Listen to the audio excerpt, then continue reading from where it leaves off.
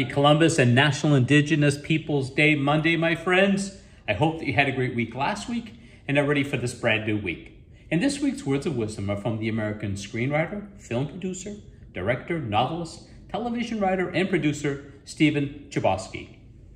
We accept the love we think we deserve. Showing gratitude is much more than simply saying thanks without further thought.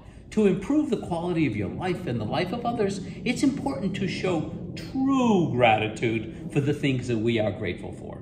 So, for this week's act of kindness, give an extra tip to your local barista or server. Showing your gratitude just may make their day. This week's positive affirmation is I am excited. The future holds so many opportunities for love, happiness, and kindness, and I'm looking forward to it. Remember to help support your local businesses. Stay happy, stay safe, stay well. Thanks for watching, and have an amazing rest of your week.